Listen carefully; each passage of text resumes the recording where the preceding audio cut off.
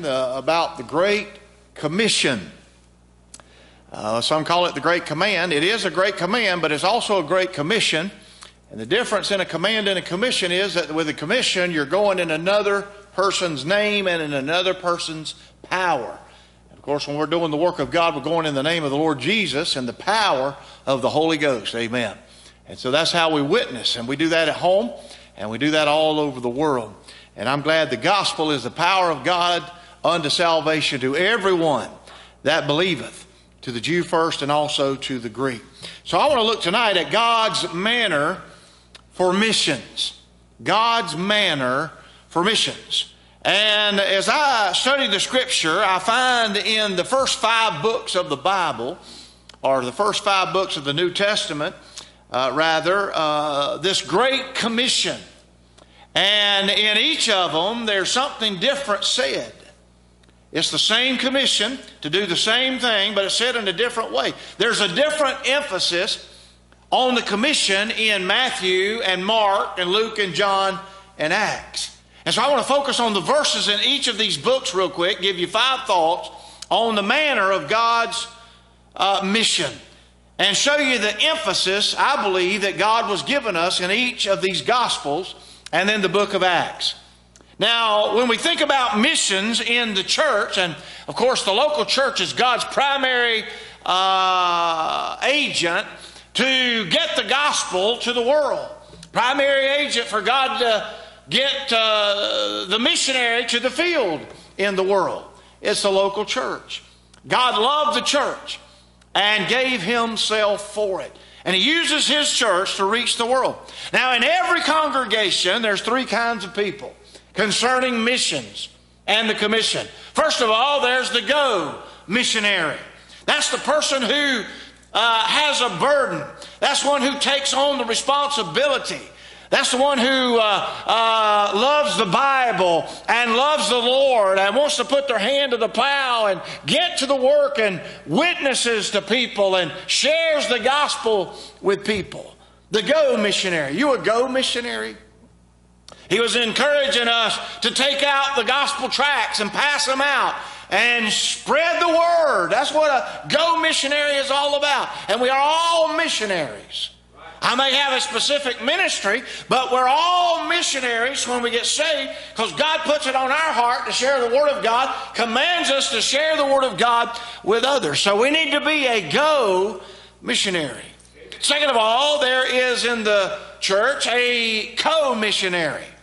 Amen. A co missionary. That's somebody who may not have the ability to go, but they have the ability to partner with. Amen. Uh, and there's many things that can hinder us from going, but uh, the Lord gives us the ability to help other people go. That's why we have offerings for missions. That's why you support missionaries. That's why you may have faith promise.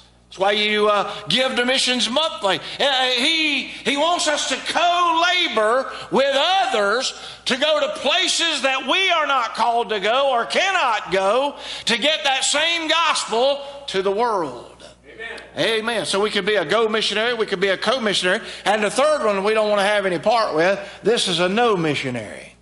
A no missionary. These are people who don't care about missions our souls Amen. Whether it be at home or, or around the world. They may come to church. They may sit on pews, but they don't give. They don't pray. They're unconcerned. Amen. And sometimes they even get negative about being a go or a co-missionary in the church. We don't want to be a part of that. I don't ever want to be a no missionary. I want to be a go missionary.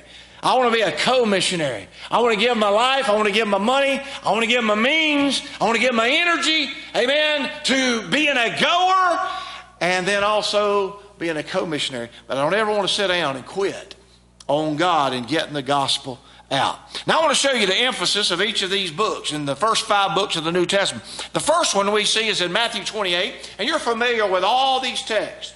So I'm not giving you new text, but I just want to show you an emphasis that God showed me in my heart. Notice first of all in Matthew 28 verse 18 to 20.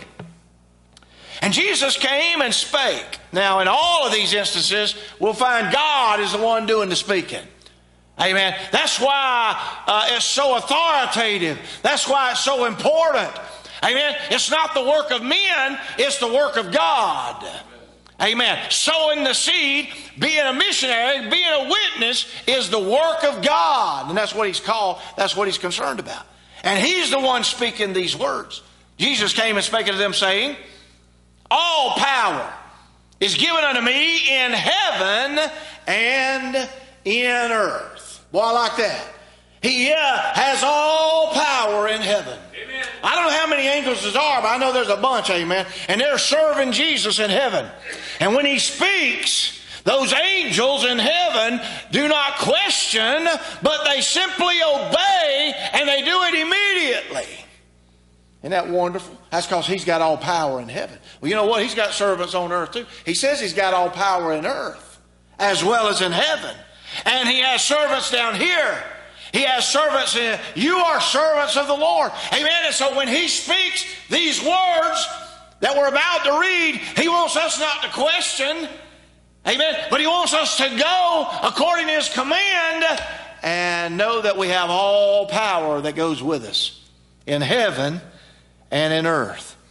And so uh, notice the next phrase. He said in verse 19, Go ye, therefore, because we have his power, go ye therefore and teach all nations, baptizing them in the name of the Father and of the Son and of the Holy Ghost, teaching them to observe all things whatsoever I have commanded you, and lo, I am with you always, even unto the end of the world. Now, notice in this the emphasis of the commission that God has given in the book of Matthew is the power Amen. of missions. The power, all power is given unto me. Go ye therefore and teach all nations. He said, And lo, I am with you always. Not always. There's no S on the end of that word. Amen. We do know He's with us always. He said, I'll never leave you nor forsake you. But the commission He's talking about, He's saying, I'll be with you always. That means from the beginning of you starting to go in obedience, He'll be with you until the end, till you cross the finish line. And he's going to be with you every step of the way. And you got all power going with you because it's God's power. The power of missions is done by the power of the Holy Ghost. And that's God. Amen. The Holy Ghost. The power of missions. Notice in verse 18 the power of His Word. And Jesus came and spake. Amen. They used to have a commercial on TV that said, when E.F. Hutton speaks, people listen. You ever heard that one? Well, I say it uh, a little better than this. I don't know E.F. Hutton, and I don't know if he's got anything to say or not. We ought to listen or not. But I do know God, amen, wrote this book. And I know what God said in this book. And when He speaks, amen, in His power, we need and must listen to His command. So we have the power of His Word. This is coming from God. When you go out to knock on doors, when you go out to pass out a gospel tract, when you leave it laying on a table after you eat at a restaurant, you're leaving the power of God unto salvation. And you got the power of God to help you do that. The power of His Word. Jesus spake. Then notice in verse 18 the power of His will. He said, All power is given unto me in heaven and in earth. Whatever He wants to happen in heaven is happening. Amen. And I say it like this whatever He wants happen on this earth is happening. Amen. Yeah, people talk about the society that we live in and the chaos and the mess that we're in, and it looks to us like it is in a big mess. Amen. But if you look at it from heaven, God's saying it's just exactly on time. His plan is being worked out. And God's not in heaven sitting on the throne biting his fingernails tonight, worried about what's going on down here. It's all just working according to his plan. That don't mean we shouldn't pray about it, be concerned about it. Amen. What it means is we are to look at it like Jesus, as the souls are still dying and going to hell. He's called us to be witnesses, called us to tell them about Him, and we just need to be faithful at the job until He comes. And He'll take care of the results. Amen. You know, when you stand at the judgment seat, the Bema seat, and you gain or lose rewards, you're going to gain or lose rewards based on your faithfulness. Amen. And so uh, when you witness to people and you sow the seed, your responsibility is done in the sense of salvation because you can't save people. I can't save people. Amen. Churches can't save people. Jesus is the only one that can save people, amen. But we're responsible to get the gospel out and to them, and then the Holy Ghost takes it from there and He does His work and His business in His way. And we're not responsible for that. So we're going to give an account to God on our faithfulness to sow the seed. And He said, if you'll sow it bountifully, you'll reap bountifully. If you sow sparingly, you'll reap sparingly. And of course, we know just by the law of nature, if you don't sow seeds, you're not going to have anything. Amen. And this is the seed. Amen. The Word of God. And so we have the power of His will. Then notice the power of His way. What did He tell us in this Great Commission in Matthew? Well, He told us mainly four things. Go ye therefore. He's telling us to preach. He's telling us uh, as we go to, uh, first of all, to go, and then we're to preach, and then we're to baptize those who are saved, and then we're to teach them, disciple them. So, four main things in the way as we walk with God in missions and in this commission. We go. Are you going? There's no way you're going to win people to God if you don't go. You got to go. You got to sow the seed. And that's the command, that's the commission to go. You're not going in yourself and in your power, you're going in another one's name and in another's power. And when you go, you're to preach the gospel. We'll see that in a moment. And when people receive the gospel, eh, receive Jesus Christ, then we baptize them by immersion, and then we begin to teach them the doctrines of the Scripture how they ought to be living for Christ according to the Scripture, and see them grow in grace and knowledge, and see their faith grow, and see them become mature believers. They're, the power of the way of God is tremendous. Then he speaks about the power of his whereabouts. Now, where's he at when all this is happening? He said, Lo, I am with you always. Amen. From beginning to end, I'll be with you. And my power is with you as you do my work and my will in obedience.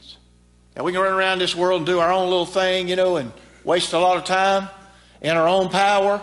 We can play church in our own power. Right. Are you listening? We can act like, you know, we're something in our own power.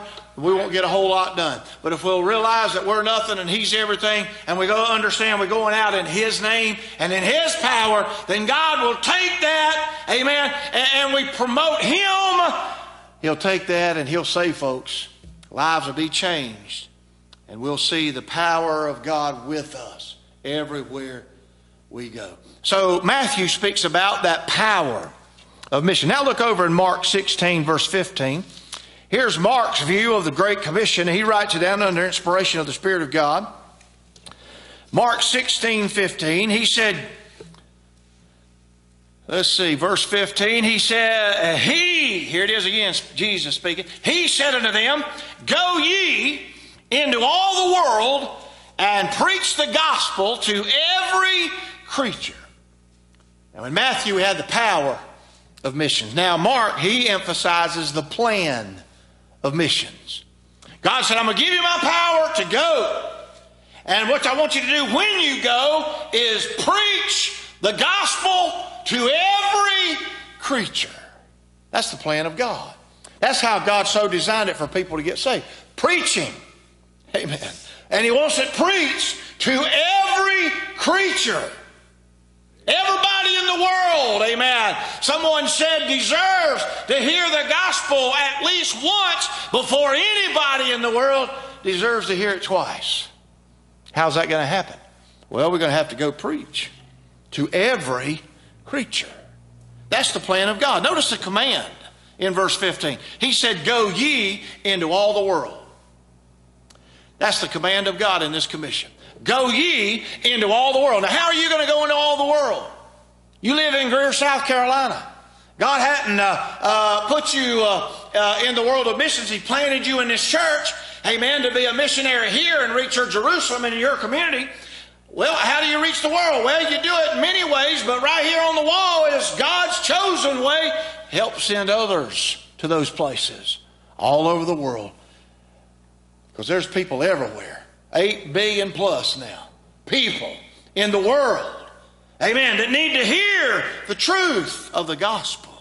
And God said the command is to go in all the world. So I go in my own world, my own little world, my Jerusalem, but then I'm going uh, uh, around the world through missions and through missionaries and through the Word of God going. That's the command. Go ye into all the world. Then notice the call. He said, and preach the gospel. We don't just go to go, we go to preach. Go ye into all the world and preach the gospel. We know what the gospel is. 1 Corinthians 15, 3 and 4 the death, burial, and resurrection according to the scripture. That's what we're to take to people. When you go out and witness, amen, you may have to break the ice by talking about a ball game. You may break the ice by talking about the weather. You may talk about those children, those grandchildren. Uh, listen, the job they're on. Amen. Take just a few minutes. Amen. Win them over with friendship and then take them straight to Calvary. But if you go there and talk about everything under the sun, get up and leave, and you never sow the seed of the gospel, you've wasted a trip. I know a lot of visitation programs, they're doing nothing but wasting a bunch of time. What we got to do when we go, amen, is remember we want to be cordial to people, we want to be kind to people, we want to make friends of people. But in the process of making friends, we don't want to get up and leave without doing what God's told us to do and preaching the gospel to them.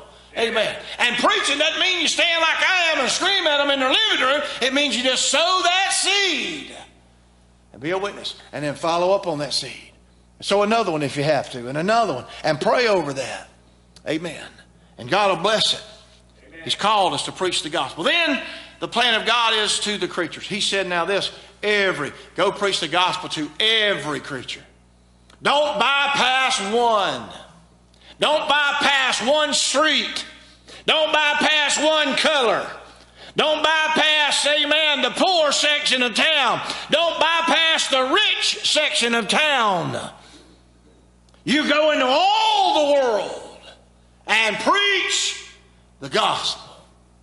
Are you listening? Now, we got Christians in our churches all across this land. They're too proud to go in the poor neighborhood and witness. We got some who are too proud to go into the into the rich neighborhood and witness to those people. You know what? Both of them's going to die, rich or poor, and both of them either going to heaven or they're going to hell based on what they did with Jesus. Amen. And so, listen, uh, Jesus, he shows no respect of persons. God says you go to everybody. Sow the seed to everybody. Amen. We're not careful, we'll get our group and our mindset on, well, we're going to try to reach this category of people, this level. Oh no, Jesus said the gospel, the commission, what he came to die for is the sins of the whole world. Reach out to those who are hurting in need, who nobody else wants to talk to. Win them to God. And then reach, amen, to those who have everything in this world amen. with the gospel. There, there, somebody's going to die. We need to reach everybody. That's God's plan. Go ye in all the world and preach the gospel to every creature. Look with me in Luke now, verse uh, chapter 24. Luke chapter 24, verse 46. Luke 24, 46 to 49. We see in Matthew the power of missions is emphasized. In Mark, the plan of missions. In Luke, I see the preaching of missions emphasized. Look at verse 46 of, Mark, uh, of Luke 24. He says, And said unto them, that's Jesus speaking, Thus it is written, and thus it behooved Christ to suffer and to rise from the dead the third day, and that repentance and remissions of sins, what's the next three words? Should be preached in his name among all nations, beginning at Jerusalem. And ye are witnesses of these things. And behold, I send the promise of my Father upon, upon you, but tarry ye in the city of Jerusalem until you be endued with power from on high. Here he emphasizes preaching, uh, missions. He said that this gospel should be preached. I don't know why God chose preaching, but he chose preaching. Amen. Now, after people are preached to, they're saved by God's grace, then they need to be taught as well as preached to and grow in grace and knowledge. But I'm here to tell you, God uses preaching to save them that will believe. Amen. Preaching. The preaching of the cross is to them that perish foolishness, but unto us which are saved, it is the power of God. Amen. Nothing can take the place of old time Holy Ghost filled Bible preaching. I'm glad you still got a church, amen, that still preaches the Word of God. Amen. Not a lot of hooflaw around here, like you can see in some churches. Amen. We just keep it simple and we just preach the Word of God and we sing the good old hymns out of the book and we just tell people about Jesus. I'm telling you, that's what God said to do and we'll be faithful at it. Amen. When someone comes, amen, or when we go to reach them, God will use us to get them the gospel. Preaching. The preaching of it. It should be preach. Now, I like singing just as good as anybody else. I like some groups just as good as anybody else. But I'm here to tell you, God didn't say by the foolishness of singing, He'd save them that believe. Now, I believe the gospel is in some songs, and God could use that, but He don't use singing groups, amen, to go across the country to see people saved. He uses preaching. God chose the foolishness of preaching. Not foolish preaching, but the foolishness of preaching. That's his business. That's not ours. So we just preach. Preach the gospel. Let me say this about preach also. I've learned this uh, a little bit over the years. Amen. When you look at the Bible and you study preaching, there's only 4% of the time that word preach is used in the sense of standing behind a pulpit like I am tonight and doing what I'm doing, heralding forth the Word of God. Only 4% of the time. 96% of the time when you open this book and it's talking about preaching, it's talking about witnessing one on one. That's because the majority of our life is not, amen, behind the pulpit. It's out there in this old world where people are at that need Jesus. And he wanted to emphasize, amen, Jesus preached in the synagogue, did he not? Yeah. But many more times did he go to a person one on one and share his gospel with them and win them to God. Amen. Oh, yeah, it's about one on one. It's about personal relationship. It's about personal witness in the Bible. And then he wants us to come together in the church for edification of the body of Christ, for the growth of the children of God. Amen. And we do that by preaching the Word of God that other 4% of the time behind a pulpit or behind a podium. Amen. In a Sunday school class, sharing what God wants us to be. But has to be done. Amen. Preaching. Now, in verse 46, we see the passion that he had about preaching. He said, Thus it was written, thus it behooved Christ to suffer, to rise from the dead the third day. Now, he's talking about his Passion Week here, how he was uh, beaten, how he was handled, amen, and suffered and bled and died for the sins of the world. He said, I had a passion to be crucified. The Bible said he set his face as a flint to go to Jerusalem.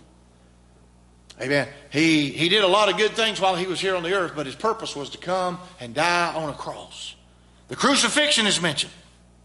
Then notice also the resurrection. It behooved Christ to suffer and to rise from the dead the third day. That was his passion. Calvary was his passion. His resurrection was his plan. And he had a passion. He said, I want that message preached to a lost and dying world. Then he tells us where he wants it preached, verse 47. And that repentance and remission of sin should be preached in his name among all nations. He tells us where to take that, the places he wants us to go. All nations. I don't know how many there, that all nations is today, but I know there's a bunch of nations out there. And I know every one of them, He wants us to reach them with the gospel of the Lord Jesus Christ. He said to all nations. Then He talks about the propagator. Who's supposed to do this? Look at verse 48. And ye, and ye are witnesses of these things. We're the propagators of the gospel. We're the one that's going to go. We're the one that's going to preach. Amen. We're the ones that's going to give. It's those who have received the grace of God, the gift of God of eternal life, that will have a burden to go and give beyond our ability, even many times, so that God can reach other souls with His gospel. We're propagators. We are witnesses. That's what a witness is. He tells what he's seen and heard. And we tell what we've seen and what we've heard from the Scripture, from God working in our own lives. We take it to them and we share that gospel. And God, you, we're a propagator. You know, if we don't go, they won't receive. They can't hear. Amen. Uh, I believe Romans talks about how shall they go without a preacher? How shall the preacher uh, go except to be sent? And, and so on. Amen. Uh, we got to do the commission. Do the commission. Not just believe the commission and read the commission. We got to do the commission. We got to, amen, uh, put it in shoe leather. Reach the lost at all cost for the glory of God. Then notice verse 49, we have the promise again of the Holy Ghost power. Behold, I send to you the promise of the Father upon you, but tarry ye in the city of Jerusalem till you be endued with power from on high. We must know we're going in the power of God. That's why the Bible tells us to get ourselves full of the Bible. Amen. Full of the Word of God. And then, amen, get on our knees in our closet of prayer and pray and have the mind of God and have the Spirit of God, the power of God through prayer. Amen. And as we go out in that mindset, as we go out in that power, God will do great and mighty things. He's promised it in His book. And so Luke emphasizes the preaching of missions. Mark emphasizes the plan of missions.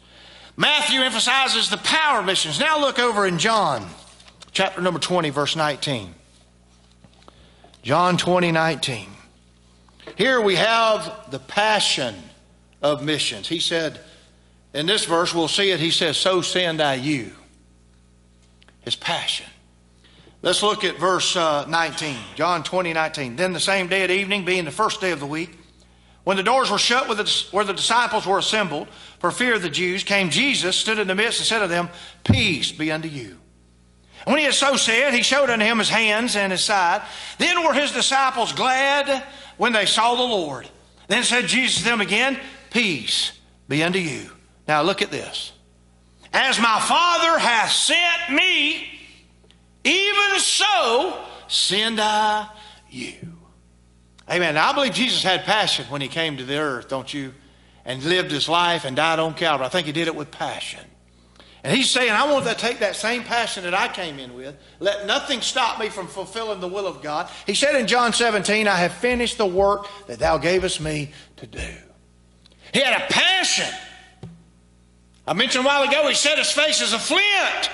He wasn't letting anything turn him away from the will of God for his life. He had passion about that gospel. Amen. It was real in his soul. Amen. And he shared it with passion so people would realize it's not just a religious thing I'm going through, it's, it's my life. It's who I am. If we're where we ought to be as an individual or as a church, we'll understand that we don't have a mission program. We are a mission program. Amen. Amen. We don't have a mission program. We are a mission program. Amen. If I could just get churches to understand that, it would change their whole outlook. It would change their whole ministry. Amen. I've heard over and over, we got a mission program. We got 100 missionaries in our program. We got five missionaries in our program. Well, that's wonderful. You, you, you got five or you got 100, but if you'll turn it around and realize it's not a program, it's not just something you give money to, it's not just something you do out of a routine, but you are mission. You are missions. Your life is missions. You live and breathe missions. If you're where you ought to be with God. And there's a few, there's a few, there's a few, handful, just a few in every church that I've seen. But, but thank God for the few. Amen. Who have a passion for God, a passion for His Word, a passion for souls, a passion for the things of God. Amen. The Bible said in the last days they'll be lovers of pleasure more than lovers of God. Amen. You know you're in the last days. Just look around. Look around. Me and Pastor was talking about it before the service. Used to be the, the pews had less seats empty than more. Now they got more empty than less. Amen? More, less people, more empty than what it used to be. Why is that? They love pleasure more than they love the things of God. Things are more important outside the building than they are inside the building when they're supposed to be in the house of God. They love the world more than they love God. It's not that they're not saved. Many of them are saved. They just love the things of this world more than they love the things of God. Now, what do we do? We got to get on our knees and start praying for them. Just like we pray for sinners to be saved, we need to pray for saints to get right with God and get back where they belong. I hear a lot of people talking about COVID, and COVID was a terrible thing to go through. I pastored through COVID. That's the first thing. I mean, that's as far as I know. I don't even Brother Waters and Dr. Sattler and all the my heroes of the faith never had to face anything like that. It was, it was a navigation scene. You, you know, you wanted to take care of your people, but you wanted to be in church and preach and do what God told you to do. And, and nobody knew exactly what was going on when it first started. We had to figure it out. It didn't take long, did it? Amen. We figured it out. Amen. That there was a sickness and we need to be careful and protect people, but at the same time, amen, it was a government thing trying to find out how much they could control people and see where people stood. And they're going to try that again more likely in the future and see if they can't do more, get more control over people's minds. And and since then, people hadn't come back, many of them hadn't come back to church. Are you listening? They don't have a passion for the things of God. They got a passion for the things outside of God. Now, notice what Jesus speaks about. He said, So send I you.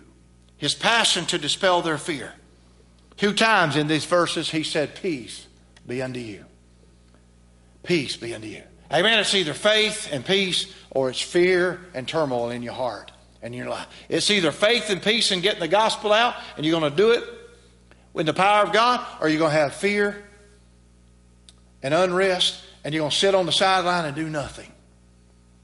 You're going to be a no missionary if you let the devil control your mind and your heart with fear. Amen. We need to be men and women of faith. Let God dispel that fear with His word. Peace be unto you. God's got it under control. Then he, he, he talks about the passion to delight their faces. The Bible said in verse 20, when they saw the Lord, then were they glad. Amen. That's what we need to do. We need to keep our eyes on Jesus. We got too many people looking down in these days in our churches. They're coming in with their head down instead of up. Amen. We don't need to look down in these days. We don't even need to look out other than the eyes of Jesus to reach the law. What we need to do is keep our eyes on Jesus, looking up, looking for Him to come back at any hour. Knowing He could come back today will keep you motivated to do the right thing today. So keep your eyes up. Amen. People that have their head down usually aren't smiling. They're frowning. They're, they're just there.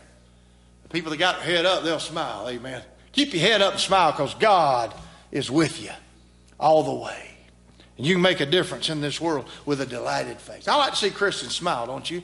I like to see Christians laugh. Hey, man, listen, we can't control the world nor the things of the world, but God can control us. And He wants us to have joy unspeakable and full of glory. And He said, I am come that you might have life and that you might have it more abundantly. He wants us to be happy, He wants us to be joyful. And when people, sinners, see that, they're going to say, Oh, what do you got that I don't have? How can you be happy in your hard time? How can you be happy in the storm? How can you be happy? The bottom just fell out in your life. And you still got a smile on your face and a spring in your step and a song in your heart because Jesus is there. And then his passions to direct their future. He said, Even so send I you. He wanted to direct their steps, he wanted to direct their future. Amen. Are you close enough to God to hear him when he says, I want you to go this way? And then maybe he wants you to turn left. And you hear him say, You turn left, you go this way now. And then you go that. God's navigating. The steps of a good man are ordered by the Lord. Amen. Amen. We need to be able to hear the voice of God. When God says go forward, go forward. When God says stand still, stand still. When God said go that way, go that way. But we just need to be uh, sensitive enough and have His Word in our heart, be in the prayer closet enough to know God's speaking to me. And when God says, here's the way I want you to go, here's your future, it's out here. Your future's this way with me. It's not that way. The way you've been going, it's not that way. It's not the way, the way you, you were. Here you go. This is the way. Walk ye in it. Isn't that what he said? Passion. Do you have passion to do the will of God? Let me give you the last one, and I'm done. My time's gone. I'm gone over a little bit already. Acts 1 8. You know this verse by heart. He said in Acts 1 8, But ye shall receive power. After that, the Holy Ghost come upon you, and ye shall be witnesses unto me. Both. I want you to notice that word. Then he names four things, not two Not two, but four. So the both don't mean one, two, like we think of the word both. I'll tell you what it means. But he said, both in Jerusalem, Judea, and in all Samaria, and to the uttermost part of the world. Now, here's the propagation of missions. He's telling us where to go into all the nations. He said, I want you to go, first of all, and be a witness in Jerusalem. He names the places. Now, Jerusalem to us, Jerusalem to you, is Greer, South Carolina. That's where he's planted his church. Then he said, Judea. That's your state. That's South Carolina. That's where he's planted his church. Then some, all Samaria. That'd be the rest of the country. And then beyond the borders of our country to uh, the uttermost part of the earth. He names those places in Acts 1 8. Back up a little in the first part, the power needed to propagate the missions. He said, Ye shall receive power. It's not a man made power, it's not something we can work up. It's got to be the power of God. I made mention that. Notice the person. It's the Holy Ghost. Amen.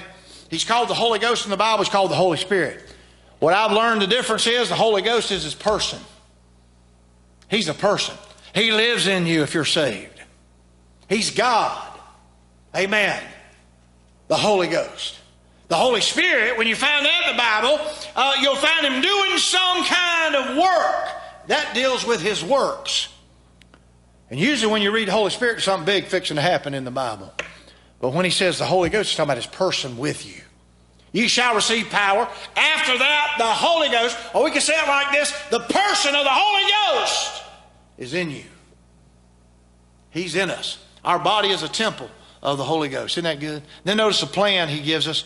He said, You shall be witnesses unto me both now, I made mention that word both don't mean four. It means, it, it don't mean two, rather. It means four. So what is he saying? Uh, I want you to be a witness at home. You're Jerusalem. And the rest of them are beyond, and some the regions beyond. But I want you to be a missionary. I want you to be a witness at home, and I want you to be a, mission, a missionary, a witness in all the world at the same time. That's what it means. Both at the same time.